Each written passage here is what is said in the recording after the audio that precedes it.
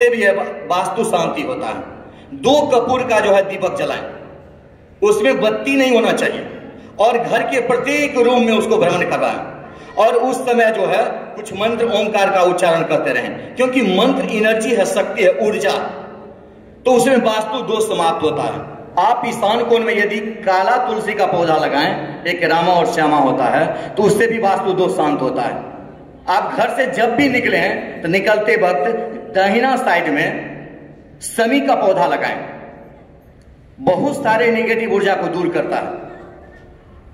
तत्पश्चात, जैसे शनिवार का दिन हो, या मान लीजिए सोमावती अमावस्या को मृत संजीवनी योग कहा गया हो, इस दिन यदि पीला सरसों, काला सरसों दोनों को मिश्रित कर दीजिए। और जैसे कि हम लोग कहते हैं, शिव मंदिर में जाके यदि पूजा करें, वहाँ का जल लग जाएगा सिर में तो निगेटिव ऊर्जा आपके अंदर में आ जाएगा निगेटिव एनर्जी हो जाएगा। ऐसा कुछ नहीं है करके देखें। हम अपने जीवन में सत्ताईस साल से हम इस कार्य में हैं। कम से कम तो 200 से ऊपर हम रुद्राभिषेक करवाए होंगे। अगर किसी का शादी का प्रॉब्लम है, आप ज़्यादा नहीं, प्रत्येक मास यदि आप दूध में हल्दी डाल करके विधिवत जो रुद्राष्टाध्यायी पाठ है, उस मंत्र से आप करवावे यदि नहीं हो तो फिर आप देखिए। तो वास्तु के लिए सबसे बड़ा चीज़ है, आप जो है, पूर्व दिशा में एकदम बिल्कुल खाली छोड़िए।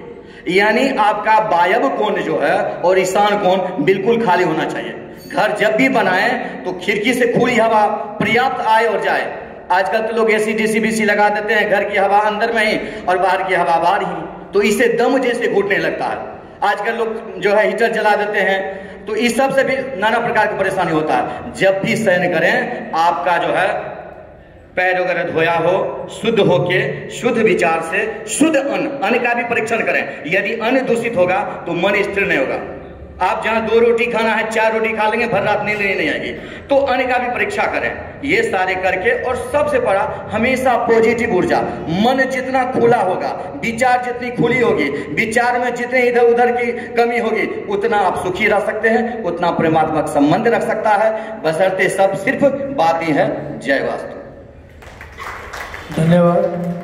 हमारे अगले वक्ता हैं आचार्य